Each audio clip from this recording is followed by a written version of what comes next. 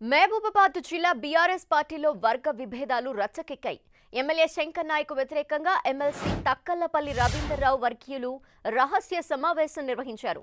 నెల్లికుదురు మండలం మదనతుర్తి సమీపంలోని మామిడి తోటలో రవీందర్ అనుచరులు భేటీ అయ్యారు. ఈసారి శంకర్ నాయక్ కాకుండా కొత్త వారికి ఎమ్మెల్యే టికెట్ ఇవ్వాలని ఎమ్మెల్సీ వర్గీయులు డిమాండ్ చేస్తున్నారు. సమావేశాన్ని అడ్డుకునేందుకు ఎమ్మెల్యే శంకర్ నాయక్ వర్గీయులు ప్రయత్నించారు. ఈ ఎమ్మెల్యేకు మద్దతుగా శంకర్ నాయక్ అనుచరులు నినాదాలు చేశారు. దీంతో ఉద్రిక్త వాతావరణం నెలకొంది. పోలీసులు అక్కడికి భారీగా మోహరించారు. శంకర్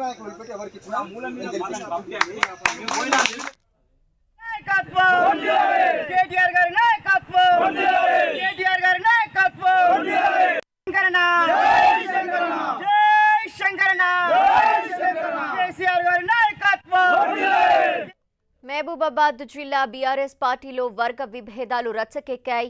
ఎమ్మెల్యే శంకర్ నాయక్ వ్యతిరేకంగా ఎమ్మెల్సీ తక్కలపల్లి రవీందర్రావు వర్గీయులు రహస్య సమావేశం నిర్వహించారు.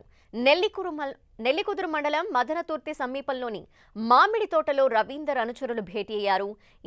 ఈసారి శంకర్ నాయక్ కాకుండా కొత్త వారికి ఎమ్మెల్యే టికెట్ ఇవ్వాలని ఎమ్మెల్సీ వర్గీయులు డిమాండ్ చేస్తున్నారు. సమావేశం అడ్డుకునేందుకు ఎమ్మెల్యే శంకర్ నాయక్ వర్గీయులు ప్రయత్నించారు. ఎమ్మెల్యేకు మద్దతుగా శంకర్ నాయక్ అనుచరులు నినాదాలు చేశారు. దీంతో ఉద్రిక్త వాతావరణం నెలకొంది. పోలీసులు భారీగా మోహరించారు.